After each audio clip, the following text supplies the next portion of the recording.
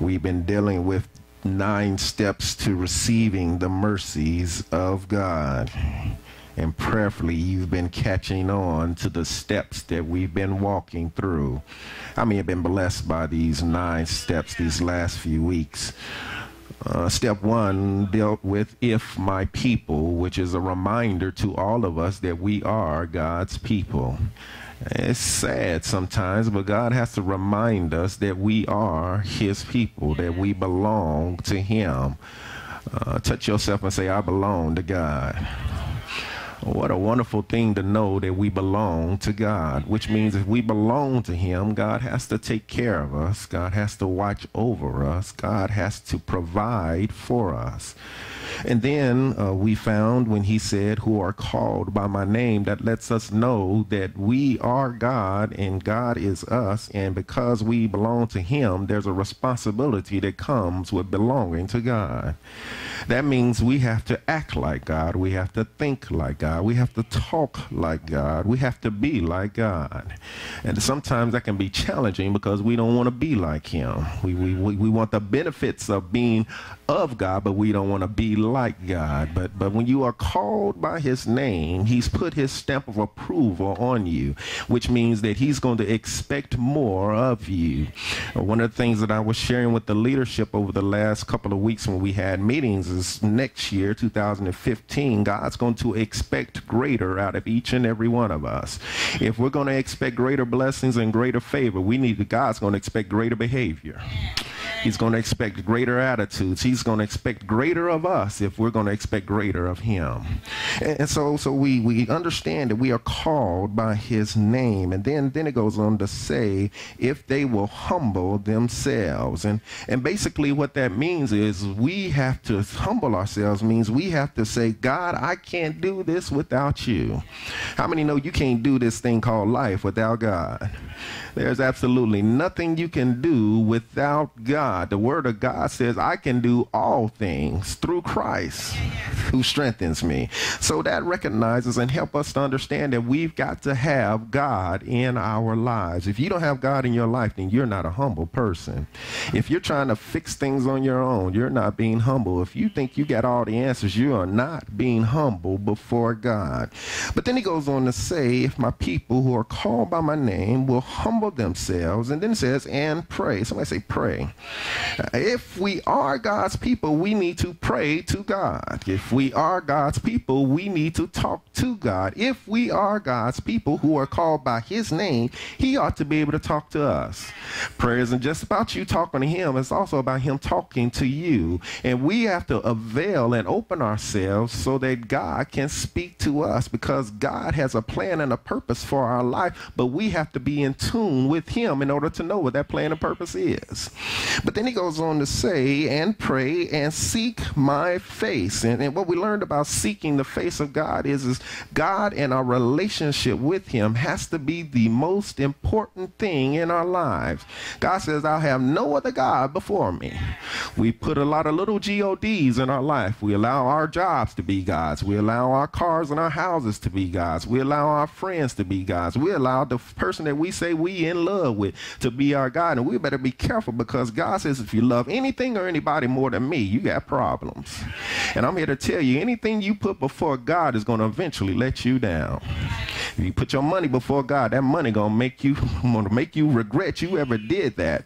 If you put anything before God, it will sooner or later disappoint you. But there's one that I know that will never leave me nor forsake me, and that's God in heaven. Oh my God, maybe I'm just the only one getting excited about that.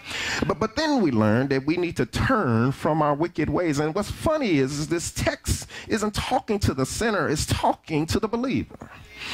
God isn't talking to the one that hasn't given his life to Christ. He's talking to the one that says, God, I believe you are my Lord. Well, God says, if you are people and if you're called by my name, I need you, my people, to turn from your wicked ways. See, the problem with some of us is, is we want to have our cake and eat it too. We want to be out in the world and do what we want to do, but we also want the benefits of being God's child. God says you need to make up your mind what you want to do. Are you going to be with me or are you going to be against me? Because if you're with the world, you're against God. And then, then last week, we truly got blessed by the man of God, Apostle Huey from Voice of Faith North. He truly came in here and he blessed us when he said, Then he taught on, Then I will hear from heaven. If you weren't here, you missed a mighty powerful word.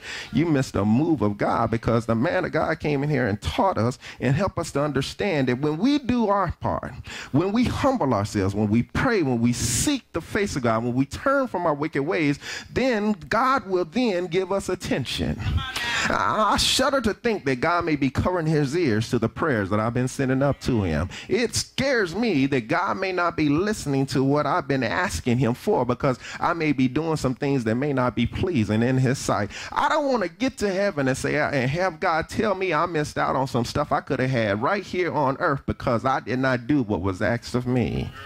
And so so we learn that God will hear from heaven. And then it leads us to today's step. It leads us to today's step because in step 8, he says, and forgive their sins. Somebody say forgive. Now, notice the order of God. The, the order of God is this forgiveness doesn't come before we've humbled ourselves. See, see, you won't ask for forgiveness if you always think you're right. Hmm. Uh, forgiveness won't come if God, to from God, if we don't pray. You got to ask to be forgiven. Uh, forgiveness won't come if we don't seek a true and real relationship with God. There's some folks that are phony around you, and there's some folks that are phony around God. They, they don't really want to be in a true relationship with God. They just want to get close enough to get some benefits from God. Well, well, God said, I'm seeking some folks that want a real relationship with me. That if no matter what happens in their life, they will they won't leave me because I won't leave them. So, so forgiveness doesn't come until you have that real relationship with God. For forgiveness doesn't come, notice now, until we've turned from our wicked ways. You, you can't keep asking for forgiveness and keep doing the same old stuff. God says, I need to see an about face. I, I need to see somebody turn from the stuff that you're doing in order to get the forgiveness that you're expecting of me. But before God renders forgiveness, you also, the word of God says, then he will hear from heaven. Notice God won't even hear you unless you've got those other things done. Hmm. He, he won't even hear what you're trying to say if you're still doing some stuff you aren't supposed to be doing. Second Chronicles 7:14 says, If my people, somebody say my people, who are called by my name will humble themselves and pray and seek my face and turn from their wicked ways. Uh, can, can I pause for a second? Notice it, he doesn't use the word but. Uh, he uses the word and, which means he joins all these conditions together, which is an expectation of us, his people. If God, if God, if we are God and we are the people that are supposed to be serving God, it says, if my people who are called by my name will do what? Will humble themselves and pray and seek my face and turn from their wicked ways. Notice we have to do all those things. Then it says, then I'll hear from heaven. and then it says, and forgive their sin. Oh my God. Uh, let's say, talk about sin for a minute because that's a three letter word that many people don't want to talk about. Uh, a sin is sometimes the, the subject that we want to skip over when it comes to God because we, we want just the good stuff from God. We, we, we don't want to talk about the consequences of sin. We don't want to talk about what sin is. And I'm going to spend a whole month on sin in the month of, in the year 2015 because we need to understand sin will separate you from God. Sin has a way of tearing your relationship up with God. When you sin, basically, sin is disobedience to the will of God. Sin is either doing what is forbidden or failing to do what is required. See, see there's one thing we got to know about sin sin is sin there is no one sin greater than another. It's sin, as God sees it, is sin. If you if you're not living right, you're just not living right. And, and if you if you're doing things you aren't supposed to be doing, you're just doing things you aren't supposed to be doing. Sin is sin. We like to categorize as people what kind of sin is better. Well, well God will be a little bit more lenient with me than he will. No, sin is sin in God's eyes. So so you're either doing what you're supposed to do or you're not doing what you're supposed to do. There's some folks that are living in disobedience and that's just as dangerous with God as it is if you were going around murdering somebody. See, if you're going around sleeping around and you are married, that, that, that's just as bad as if you if you're declaring that God isn't God in your life. Sin is sin. Hmm. So so the word sin is something that we need to deal with sometimes because we want to we think we can do whatever we want to do and still get the benefits of God. But sin destroys relationships. Uh, what does God mean, though, when He says He will forgive our sin? Uh, God has promised that He's going to spare us from the consequences of sin. That's a reason to shout out by itself. Uh, go with me to Romans 6:23 because I don't know about anybody else. When I read this, I, I've read this text over and over over the years, and yet something jumped out of it from me. Romans 6:23. Something jumped out of this text that, that made me want to shout. Uh, Romans 6:23 says, "The for the wages of sin is death. I'll read that again. For, for the wages of sin is death. If we were to be held accountable for the sin that we've done, we would surely die. Hmm. It says, For the wages of sin is death. But, but then I began to shout because it says, For the wages of sin is death, but uh, I got excited when I saw that word but. y'all know I get excited when I see that word but because we know that but is a conjunction that joins two conditions together, but whatever said before the word but gets negated by what's said after word but. It says, For the wages of sin is death. Somebody say, but. but uh, the gift of God. You know, we deserve every consequence of sin we deserve. Justice says we should get what we deserve. Hmm. But grace jumps in and puts a but after for the wages of sin is death. I should deserve to go to hell for what I've done, but God said, I, I got another plan for your life. I, I, should die for the sins that I committed, but God loved me that He put a but after the wages of sin. Am I the only one excited about the fact that God put a but after for the wages of sin is death? Am I the only one excited about the fact that God thought enough of me to put a but after the wages of sin, I could have been going to hell right now, but God put a but after what I did. Instead of going to hell, I can be going to heaven.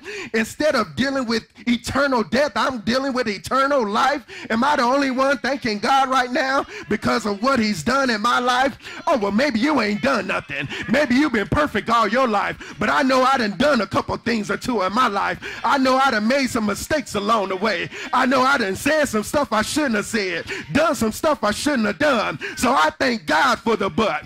I thank God because he thought enough of me that when I was 19, 20, and 21, I was still acting a fool. But God said, but I got a better plan for you. I remember when my daughter was running the street doing this and doing that, but I got another purpose for her life. I remember when my son was running up and down the street with his homeboys, but I got another plan for him. I remember when my sons and my daughters used to stay in the club till four or five o'clock in the morning, but I got another plan for them. Now I'm going to wake them up at four in the morning and get them into church so that they can praise my holy name. I remember when my sons and daughters used to cuss and talk all kinds of mess about people, but now I got them talking about the word of God and his will for my life. I'm excited about the but in my life. Oh my God.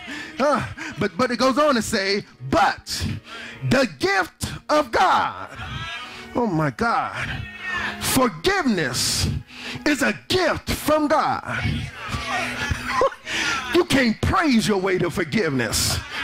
if that was the case, we'd all be up in here praising him. You can't give your way to forgiveness. Because if that was the case, folks would be dropping million dollar tithes and offering.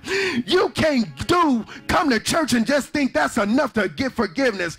Forgiveness is a gift from God. You can't do anything to deserve it or earn it. You can't do anything to qualify for it. It was freely given to each and every one of us. That's another reason to thank God right there. For the wages of sin is death, but the gift of God is eternal life through Christ Jesus our Lord. I've got access to eternal life because of what God did in my life. I get to hope for heaven instead of hoping for hell because of the blood that was shed on Calvary. Go back to Second Chronicles 7 14 because it says, If my people who are called by my name will, will humble themselves, if they will pray, if they will seek my face, if they will turn from their wicked ways, then I will hear from heaven and forgive their sin. To forgive is to grant pardon for or remission of a debt or an offense. To forgive is to give up all claim on an account. I don't know if you've ever had anything forgiven in your life. to forgive is to cease to feel resentment against. You often hear people ask the question, how do you know when you've truly forgiven somebody? Well, the answer is, is when you can, when you don't no longer have the resentment that you have toward that person. If I, if I can look at you and I know what you did to me and I, and I not still get angry when if my blood don't boil anymore like it used to. If I can if I can sit at the table knowing you used to talk bad about me and still sit at the table in the presence of my enemies and know it's going it's going to be all right and I can digest my food. I, I know I've forgiven you. When, when when I can look at you and I don't get mad at, at the thought of you if I can if I can be in your presence and still open up my mouth and speak a good word and say hello to you. See see some folks you're carrying so much unforgiveness it's, it's even hard to open up your mouth and speak to a person. Well, well God says, I wish, and y'all better be thankful I'm not like y'all sometimes because if God was like some of us, we'd all be messed up. I, I thank God that, that He loves us enough that He doesn't hold against us the stuff that we used to do. I thank God that He loves us enough that He was able to be able to cease to be angry with us. He'll still talk to us. He'll still want the very best for us. That's forgiveness. So it says here to forgive is to stop blaming someone, to cancel an indebtedness or a liability. To forgive also means to lift the heavy load. You know, sin is a heavy load. the burden of sin will hold you back it, it will rob you of your joy. The, the moment God removes sin from you is the moment that you are released from the burden of sin. God is always looking and seeking to forgive us of our That's the interesting part. God wants to forgive you of your sin. But you got to be willing to go to God and ask for it. God wants to pardon you from all that you and I have done, but we have to be willing, we got to be humble enough to say, God, I messed up. That's why we got to confess our sin. That's why we got to open up our mouth and agree with God that what was done was wrong. And God is eagerly waiting to agree with you so that he can wipe your slate clean. How many want some slates cleaned in your life?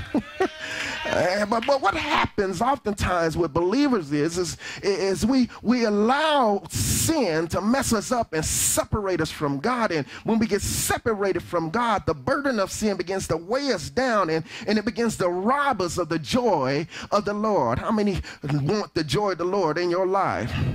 Uh, Psalm 66 and 18 says, If I regard iniquity in my heart, the Lord will not hear. Sometimes sin, if you allow it to, will rob you of the joy to worship.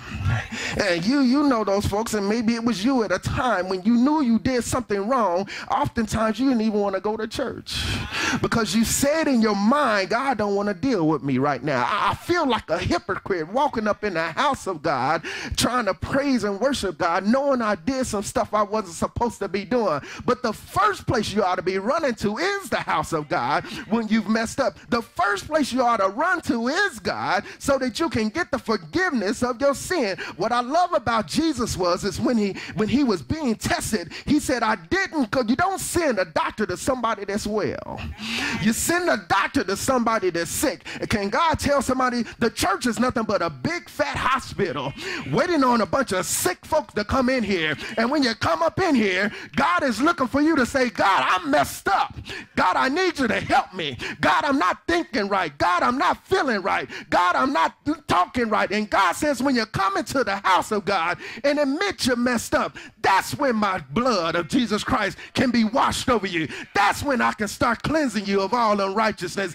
That's when I can start clearing your mind, freeing your heart. That's when I can take that burden off of you. The word of God says, cast your care upon him because he cares for us. How many want to, the joy restored back in your life? You got to be willing to say, God, I need you to do it in my life. Go with me to Romans 8, verse number one. Uh, I don't know about anybody else, but I'm excited about the fact that God has forgiven me of my sin. Romans 8, verse 1 says, There is therefore now, somebody shout now, no condemnation to them which are in Christ Jesus, who walk not after the flesh, but after the spirit. Can God help somebody right here? Sin has a way of condemning you. Sin has a way of making you feel like you're not worthy of God's goodness. Sin has a way of making you hold your head down, feeling like guilty, reminding yourself of all the stuff that you did. But the word of God says, There is therefore now no condemnation. So when you go to God and you ask for forgiveness, God says, when I wipe your slate clean, you can get rid of the condemnation because God says, once I've forgiven you, I've forgotten about it. Oh, can I praise God on that all alone?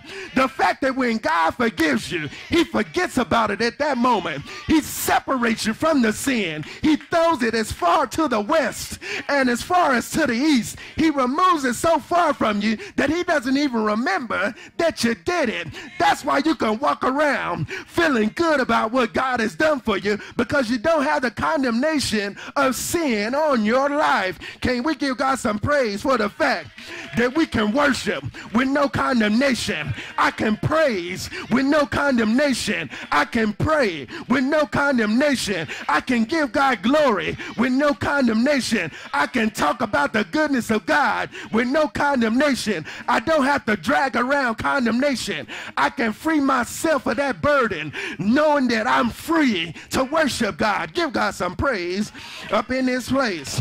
So, so, so sin will rob you of your ability to worship, but it also rob you of your ability to walk in God. Second Corinthians 5 and 7 says, We walk by faith, not by sight. But, but what sin has a tendency to do is sin has a way of reminding us of what we've done. See, the, the problem with some of us is, is uh, we, we, we, got too good of a memory. Hmm. See, see, see, see, once God has forgiven you, he's forgotten about it. Once God has forgiven you, he, he's thrown it away from you. But we have a tendency of reminding God of what we've done. what that says to God is, is my forgiveness, God, matters than yours. Hmm, we got to be careful with that. See, see, see, if God has forgiven me, I ought to forgive myself. Who's God talking to?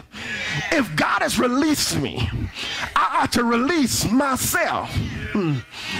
If God has cast it away, I ought to cast it away from myself. So we got to stop going to God and say, God, I know I messed up. God, God, I know I did wrong before you. If God has said you're set free, then you're set free. Those whom the Son has freed is free indeed. So it says we walk by faith, not by sight. God, God is wanting somebody to understand right now. Forgive yourself and start walking in the newness of God. Those who are free are free indeed. Which means you're free to walk in the promises that God has made you. And we got to start walking in faith, knowing that God truly is prepared and ready to take us to that next level in our life. But, sin, but sin, but sin will rob you of your ability to, to worship. It'll rob you of your ability to walk in God. It also rob you of your ability to witness. you know, when you messed up, the last thing you want to talk about is, is God. Because you think God's still mad at you. y'all know how kids are. When they, they when they know they done something wrong, they don't even want to be around you, do they? And then when you call their name, they just they real slow coming to you. Uh, God, God, said that's how you are. when you know you've done something wrong, and I'm calling your name, you go hide in yourself. That's what Adam and Eve did. well, they knew they did something wrong because, or else they wouldn't have hid themselves. They knew they did something out of disobedience, or they wouldn't have felt that they were naked because God had to ask them, Who told you you were naked? See, see, see, God has to remind us sometimes that, that the only one that can restore us is Him. So, so, so we got to know that even when we sin, and if God forgives us, he gives us the ability to witness about his goodness. The fact that he has forgiven us is a witnessing tool all by itself. I can talk about what God has blessed me with. I can talk about how God has made a way out of no way. I can talk about how God has healed my body. But one of the best testimonies I can give is the fact that God has forgiven me of the sin that I was in. One of the best testimonies I can tell somebody is, is even though I was messed up, caught up in sin, God loved me enough that while I was yet a sinner, he died on the cross for me. One of the best witnesses I got is the fact that I could tell somebody if he changed a wretch like me, he can change somebody like you. If he can change the way I talk, he can change the way you talk. If he can change my focus, he can surely change your focus. Am I the only one excited about the fact that I can be a witness for Christ? Oh my God. Hebrews Hebrews 12 1 says, Therefore, we also, since we are surrounded by so great a cloud of witnesses, let us lay aside every weight and the sin which so easily ensnares us, and let us run with endurance the race that is set before us. Many of us don't want to run because we keep reminding ourselves of the stuff we did. Many of us won't pursue the things of God because we're holding down ourselves with the weight of sin. Uh, y'all remember back in the 80s, I, I, don't know, maybe I'm dating myself, I'm telling myself, but back in the 80s, there used to be these little ankle weights you used to put around your leg. You, you would strap them with Velcro around your ankles and, and you would walk around and carry on about your day. And, and the point of the ankle weights was to build your leg muscles some of the craziest stuff that we used to do back in the day. Uh, but those ankle weights would add weight to you, but as you were walking, it was supposed to give you strength. Well, God wants somebody to know, I don't know about anybody else, but I used to walk around with those ankle weights, and, and when I would take them off, it felt like I could run faster. It, felt like I, I was I was quicker than I than I was when I had them on. That's what sin is. is sin has a way of weighing you down and slowing you up. God says, I'm trying to get you somewhere, but but you got the weight of sin hold on to you. If you would just release yourself, because I've already released you. If you would just free yourself, you'll discover you got enough energy, you got enough weight off of you to run the race that I put before you. But Acts 1 and 8, Acts 1 and 8 says, But you shall receive power when the Holy Spirit has come upon you, and you shall be witnesses to me in Jerusalem and in all Judea and Samaria and to the end of the earth. Good God Almighty.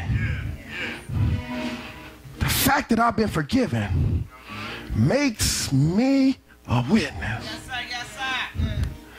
Here's the power about being a witness. Don't tell nobody else's story but yours.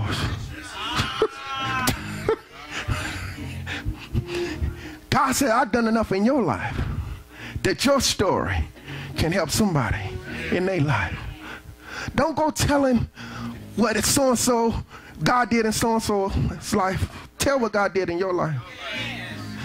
Tell somebody about the change that He made for you. Tell him how he turned you around. Tell him how he put you on solid ground. Tell him how, how God changed your mind. Tell folks how God changed your heart. Tell folks how God made you a better person. So, so, so it says, if my people, somebody say my people, who are called by my name, will humble themselves and pray and seek my face and, and turn from their wicked ways. And then it says, Then I will hear from heaven. Uh, God, God gave me this demonstration to kind of help clarify what it means. As you can see in front of you, you got two different chairs. You got one chair draped in black, and you got one chair draped in white. And, and what happens with us is mm, we all start in this chair. Uh, pull up First Peter 2 and 9. We all start in this chair. And if we're not careful, this chair represents sin. and sin, if you aren't careful, can start getting comfortable. Uh, when I was out in the world, I was comfortable in my sin. Uh, I remember when we talked about this in Bible study, sin can feel good. sin can feel comfortable because you like it. And, and if you aren't careful, you'll start leaning back in sin. You, you'll start laying down in sin. If you aren't careful, sin can engulf you so much that you'll actually start enjoying what you're doing not realizing that the wages of sin is death. You're going to hell. But because it feels so good, you even wrap yourself in it. Good God Almighty. because that's how sin does it. It gets to feeling good and you don't want to let it go. But, but, but what I think about sin, the word of God says, for the wages of sin is death. Uh, can God minister to somebody? I don't know if you've ever owed anybody a debt. Uh, what tends to happen is if you owe somebody a debt and you haven't paid it, they'll send or have a debt collector call you. Uh, interesting thing about debt collectors is this uh, they don't care what you're doing, they'll call you at any time of the day. They don't care if you're sitting at home watching your favorite TV show. They don't care if you're sitting at the dinner table eating dinner with your family. They will call you because guess what? You owe a debt and they're going to collect on that debt. How many know that the enemy tried to collect a debt on you? He tried to collect the debt, and the debt was the sin that you were in. But the debt that you had to pay was death. But but God had a better plan for you. Good God Almighty. And if you've ever owed anybody money and the phone would ring, I don't know about you, but there were times that I wouldn't even want to answer the phone. I know who it is, and I know what they want. But I refuse to answer the phone because I understand they want me to pay that debt.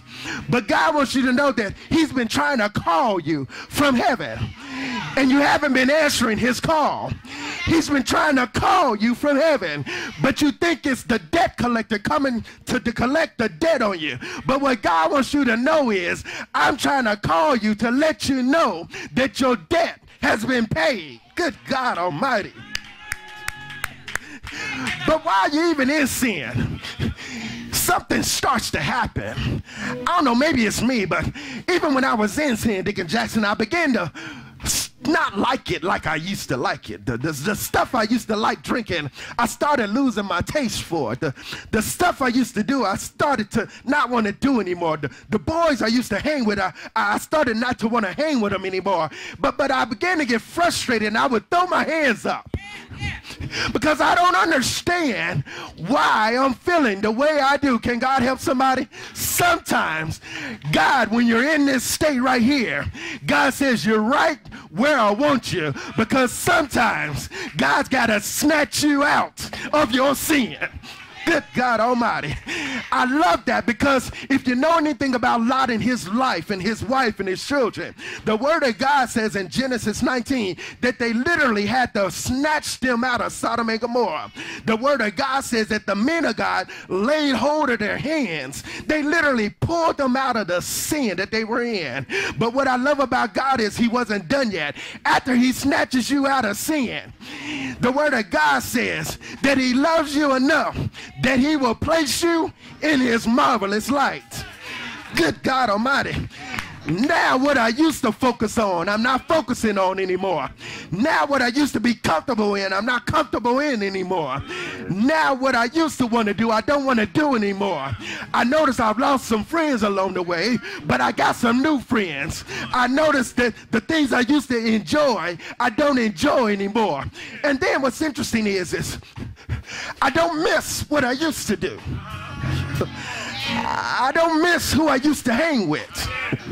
And all of a sudden, what I used to be comfortable in, I'm no longer comfortable in. Now,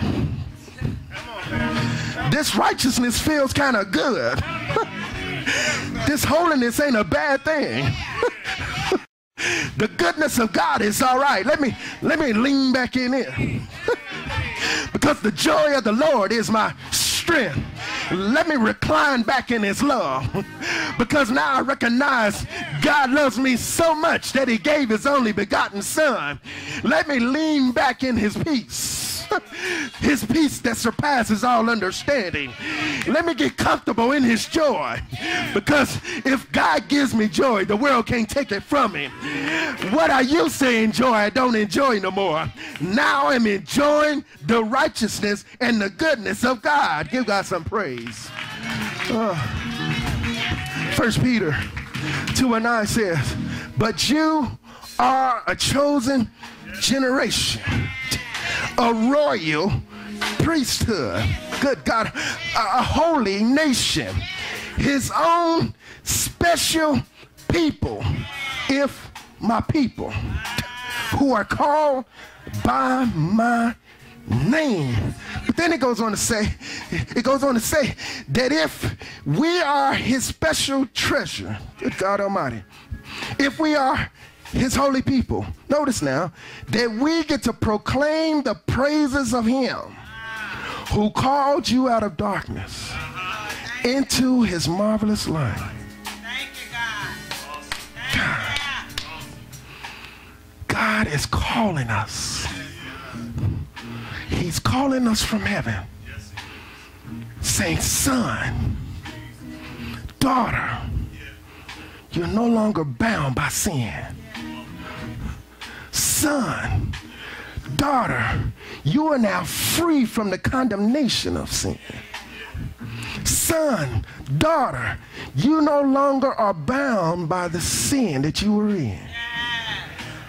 I want to hear your praises because now I placed you in my marvelous light. That's why you look differently to the people that you used to hang with.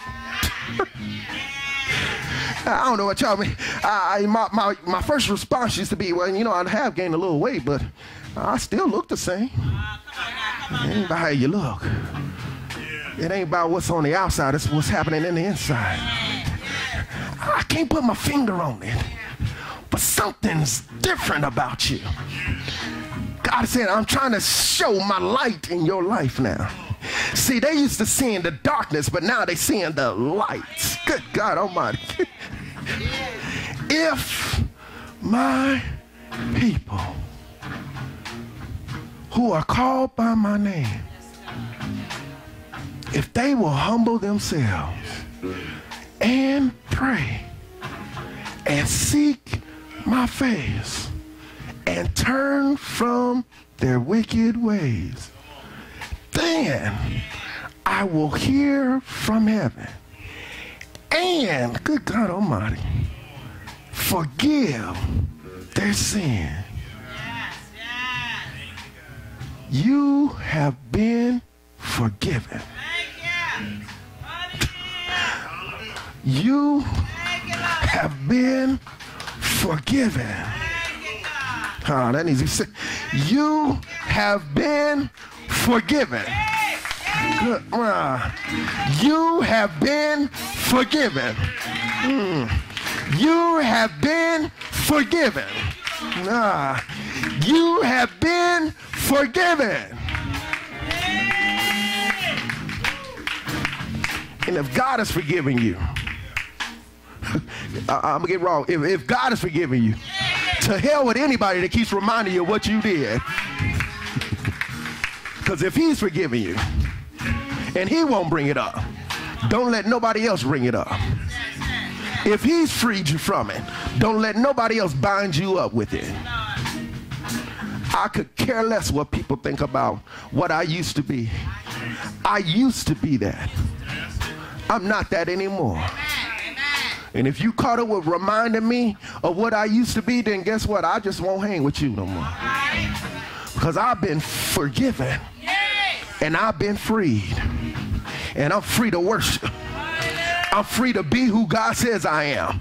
I'm free to have what God says I can have. I'm free to walk the way God says I should walk. I'm free to do the things that God says I can do. Because I'm free from sin, I'm free to have everything God says is mine.